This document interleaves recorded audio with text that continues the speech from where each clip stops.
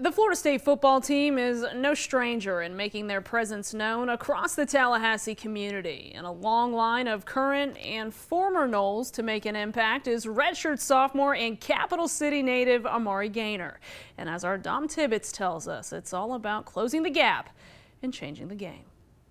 I'm just going to be out, you know, serving kids and just mentoring and giving experience that we have also had and um, changing the game. For Florida State linebacker Amari Gainer, being a game changer doesn't always stem from a late game sack or timely takeaway on the football field.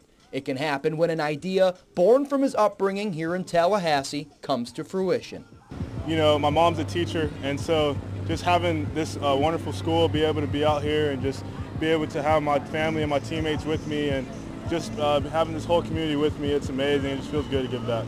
So Amari began his work creating the Game Changers Foundation, a fun and free way to help spread literacy to kids all across the capital city, implementing key principles that will make better students inside the classroom.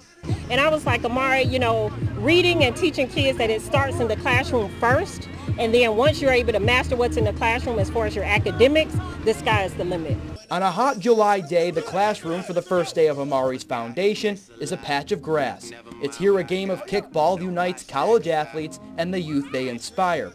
And in a time where NIL deals and dollar figures run wild for student athletes, he knows that no dollar amount can make a lasting impact in the mind of a child. The best impact is making an impact through the heart. So that's what I believe um, with all this NIL stuff. I mean, it is important uh, to uh, get proceeds from your name, image, and likeness, but it's also important to give back and important to the community that poured into me. Amari would do plenty of camps free, out of pocket. It's the, the building, the foundation. His, that's just Amari's character. He's just one big, fun-loving kid. In Tallahassee, Dom Tibbetts, ABC 27. I love it. Amari says he hopes this foundation will become a staple in Tallahassee and wherever the next chapter takes him after his time in Garnet and Gold.